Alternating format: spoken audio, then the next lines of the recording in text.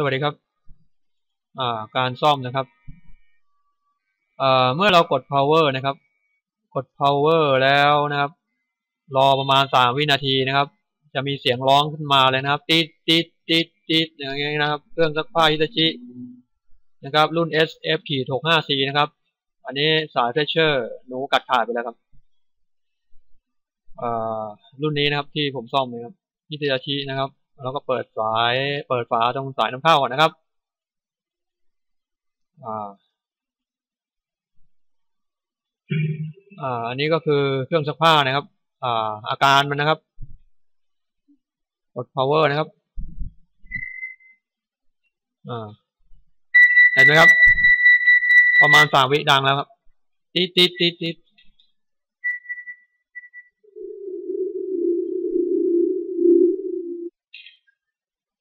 อาการนี้นะครับเกิดจาก pressure นะครับ pressure นี่ เวลาเราเสียบไฟเข้าไปนะครับ ไม่ต้องกดปุ่ม power มันก็จะสร้างความถี่เลยนะครับ เมื่อเรากดปุ่ม power ปุ๊บ CPU ก็จะทำการตรวจจับความถี่ตรงนี้นะครับ ถ้าไม่มีปั๊บ CPU ก็จะส่งเสียงร้องเตือนตีตีตีตีทันทีครับ ไม่สามารถกดสั่งงานอะไรได้เลยนะครับ อันนี้เราก็ตรวจสอบว่าสายหนูกัดขาดหรือไม่นะครับ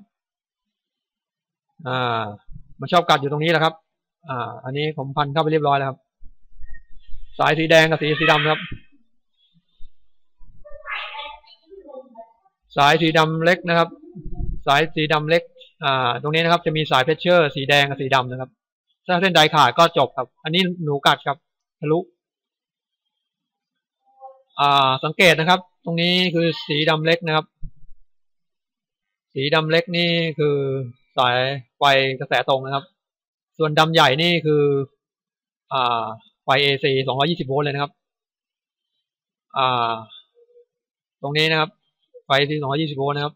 เราเวลาหนูกัดขาดนี่จะมาปะปนกันไม่ได้นะครับ เขาจะแยกโดยใช้สีดำเล็กกับดำใหญ่นะครับอันนี้คือ 220 โวลต์ ACV นะครับ ส่วนนี้คือไฟ ไฟ DC กระแสตรงครับ อ่าเขาจะแยกโดยดำเล็กกับดำใหญ่นะครับ อันนี้ต้องเข้าใจนะครับ อันนี้คือตัว pressure ครับตัว pressure อันนี้คือสายยาง pressure นะครับแล้วตรงนี้ก็คือ C นะ C สีส้มนะจะสร้างความถี่ร่วมกับขดลวดภายใน pressure นี่นะครับ เมื่อมีแรงน้ำเข้ามาในถังนะครับ แรงดันก็จะมากดสายยางตรงนี้นะครับ เข้ามากดยางใน pressure ตรงนี้นะครับทำให้แกน ferrite นะครับ ไหลเข้ามาในขดลวดมากขึ้นนะครับทำให้ความถี่ค่อยๆต่ำลงนะครับ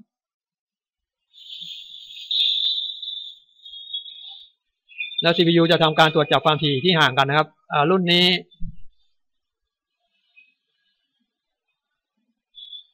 มันจะห่างกัน 3K เฮิร์ครับเขาจะใช้ความห่างกัน 3K เฮิร์นะครับ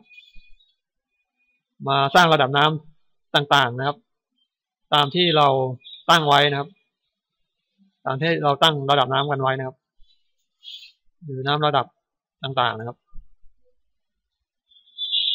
รุ่นนี้ถ้าไม่มีน้ำในถังนะครับ จะอยู่ที่ 24.78 เคเฮิร์ตครับ แต่ถ้าน้ำเต็มถังก็จะอยู่ที่ 21.78 k เฮิร์ตครับห่างกัน 3 k เฮิร์ตครับ อันนี้คือดำเล็ก อันนี้คือแดงนะครับสาย pressure ก็จะใช้สีดำแดงนะครับสำหรับฮิตาชิครับ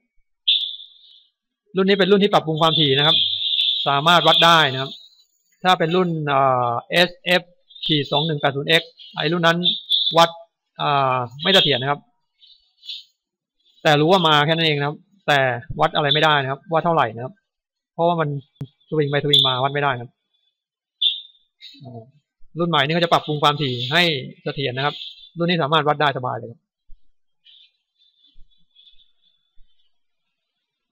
สังเกตสีสีส้มครับเลเชอร์จะมีหน้าที่สร้างความถี่นะครับ เพื่อไปบอก CPU เมื่อ CPU ไม่ได้รับรู้ความถี่นะครับ มันก็จะร้องเตือนตีตีตีตีนะครับ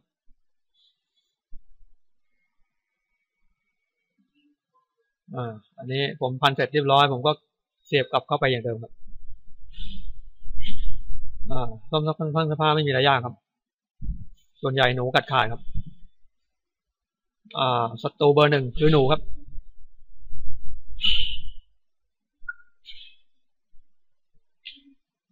อ่าทีนี้เราก็จะเสียบไฟครับ อันนี้ก็ใช้ได้แล้วครับอ่าเสียบไฟเข้าไปแล้วเราจะลองวัดความถี่ดูเล่นๆนะครับ ว่าขณะดีเขาเท่าไหร่นะครับเมื่อเราต่อสายเสร็จมันก็ใช้ได้แล้วนะครับ ทีนี้เราก็จะดูนะครับ อันนี้เราไม่ต้องกด power ครับอ่าเสียบสายเฉยๆอันนี้คือเสียบสายเข้าไปเฉยๆแล้วนะครับอ่าไม่ต้องกด power ความถี่จะมาเลยครับ มันจะสร้างทันทีเลยครับคือก็จะสร้างรอไว้เลยครับ เมื่อเรากด power มันก็ความถี่ก็จะไม่เปลี่ยนแปลงนะครับมันก็จะอยู่อย่างนี้แหละครับ คือให้รู้ว่ามันสร้างตั้งแต่เริ่มต้นเลยครับ ไม่ต้องกด power อันนี้วัดได้ 0.22 ACV ครับ อ่าไฟ AC นะครับ 0.22 ACV นะครับมาได้ 0.22 ACV สายสีดำจิ้มกับสายสีดำนะครับ สายสีแดงจิ้มกับสายสีแดงนะครับ ของแฟชเชอร์นะครับอ่าวัดเป็น DC ก็ได้ 0.012 DCV นะครับอันนี้คือกระแสตรงนะครับ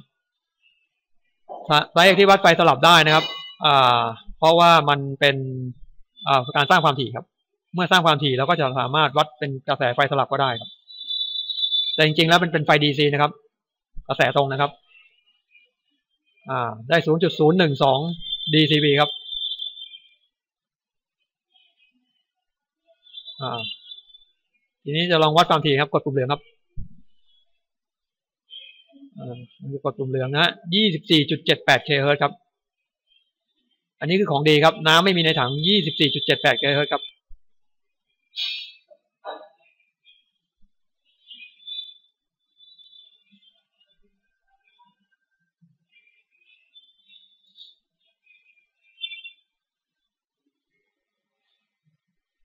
เมื่อน้ำค่อยๆเข้ามาในถังนะครับ จะมีแรงดันไปกด pressure นะครับอ่าทำให้ความถี่ต่ำลงเรื่อยๆนะครับ แต่ความแรงของความถี่จะสูงขึ้นนะครับ มันจะสวนทางกันนะครับ ความถี่กับความแรงของความถี่นะครับ อันนี้สายดำอันนี้สายแดง จิ้มเข้าไปอย่างนี้นะครับดำกับแดงนะครับดำกับดำแดงกับแดง ตั้งสเกลไปที่0.1นะครับ อันนี้เข็มนะครับ ตั้งไปที่0.1โวลต์นะครับ ตรงนี้นะครับ0.1โวลต์อ่าสังเกตดูโวลต์จะได้น้อยมากนะครับ เข็มขึ้นไปแค่ 0.6 นะครับ 0.6 แล้วอยู่ย่านนี้นะครับ ต้องเลื่อนทศนิยม 2 จุดครับขีดละจุด2ครับ จุด6จุด6เลื่อน2จุดก็จุด006โวลต์นะครับ จุด006นะครับ ไม่ถึงนิดเดียวเองนะครับ แค่จุด006โวลต์นะครับเศษเสี้ยวของโวลต์เองครับ ได้นิดเดียวครับ ได้0.006โวลต์เองครับ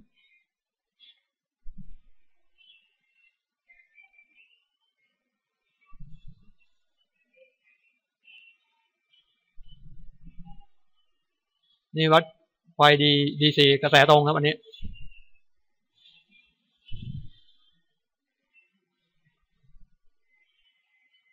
อ่าเดี๋ยวเราปรับไปย่านสองจุดห้าครับ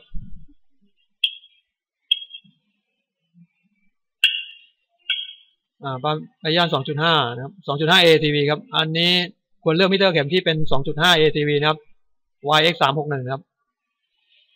อ่าเพราะมันจะวัดเห็นชัดเจนครับ อ่าศูนย์จุดอ่าได้เท่าไหร่ฮะ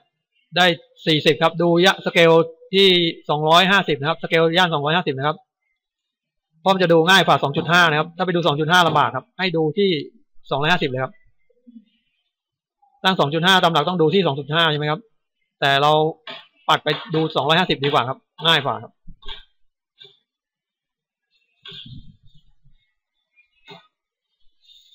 ขณะไม่มีน้ำในถังจะได้ 0.4 ACV เองครับ ดูย่าน 250 นะครับ 0.4 ACV อ่า ทีนี้เราจะ อันนี้เสียบเข้าไปรูเอาพุตนะครับ สายสีแดงย้ายไปรูเอาพุตครับ หมายความว่าวัดความถี่นะครับ อันนี้จะเป็นการวัดความแรงของความถี่แล้วนะครับ ความแรงของความถี่นะครับ จะสวนทางกับความถี่นะครับ ถ้าความถี่ต่ำลง ความแรงของความถี่ก็จะสูงขึ้นนะครับ ถ้าความถี่ อ่า นี่วัดได้ 40 ครับ เลื่อนทศนิยมมา2จุดก็เป็นจุด4ครับ จุด4 ACV ครับความแรงของความถี่อยู่ที่จุด4 ACV ครับ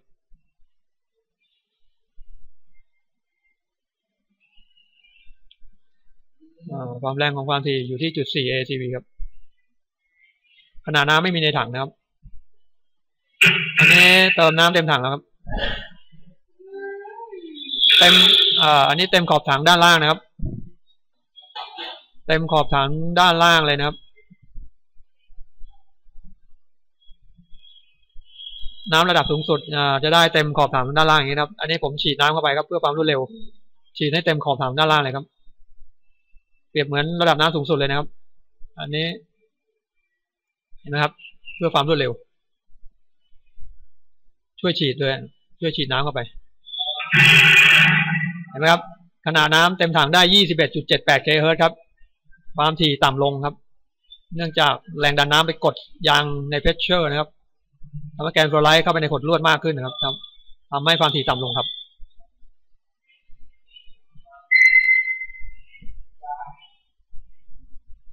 อันนี้เราจะ drain น้ำออกนะครับ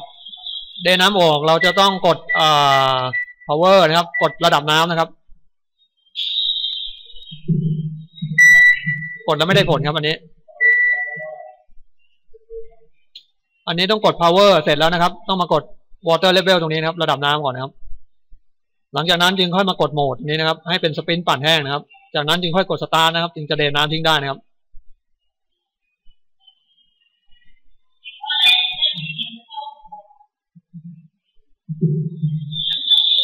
ถ้าไม่กดระดับน้ำมันจะเดนน้ำทิ้งไม่ได้นะครับ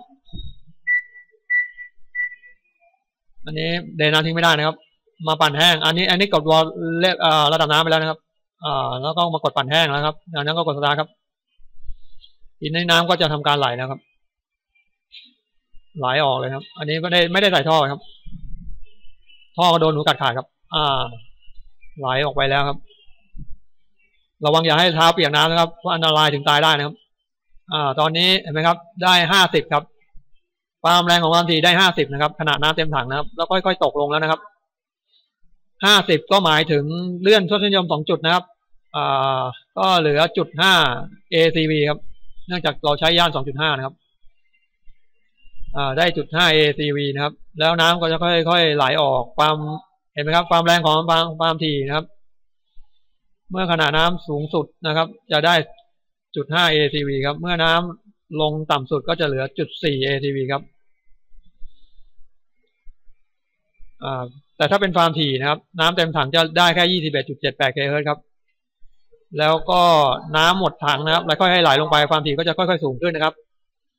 สังเกตได้ว่าความแรงของความถี่ความถี่นะครับความถี่กับความแรงของความถี่จะสวนทางกันนะครับ เมื่อเมื่อความถี่สูงขึ้นความแรงของความถี่ก็จะต่ำลง เมื่อความถี่ต่ำลง ความแรงของความถี่ก็จะสูงขึ้น มันส่วนทางกันนะครับ ความถี่กับความแรงของความถี่ อันนี้คือสีสีส้มนะครับ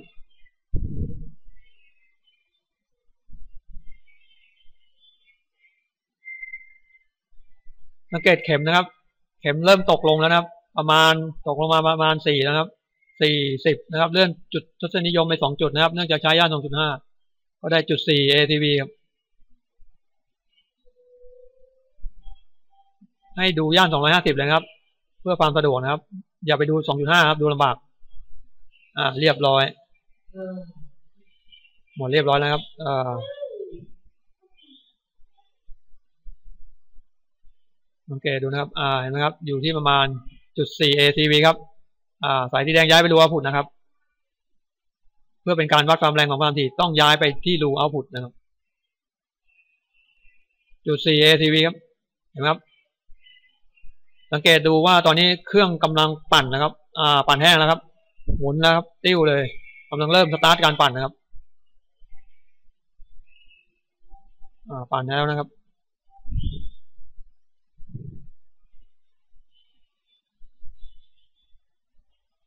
ถ้าสายยาง pressure มันรั่วนะครับ ความถี่ตรงนี้จะไม่เปลี่ยนแปลงเลยนะครับ แล้วก็จะทำให้อาการมันคือน้ำล้นถังเลยครับ น้ำจะล้นไปเลยครับ เนื่องจาก CPU ตรวจจับความถี่ไม่ได้ครับ ความถี่ตรวจจับแล้วเท่าเดิม มันก็ไม่ถึงความถี่ที่ต้องการสักทีครับมันก็เลยล้น อ่าอันนี้คือตัวเครื่องมันครับสำหรับวันนี้แค่นี้ก่อนครับ สวัสดีครับ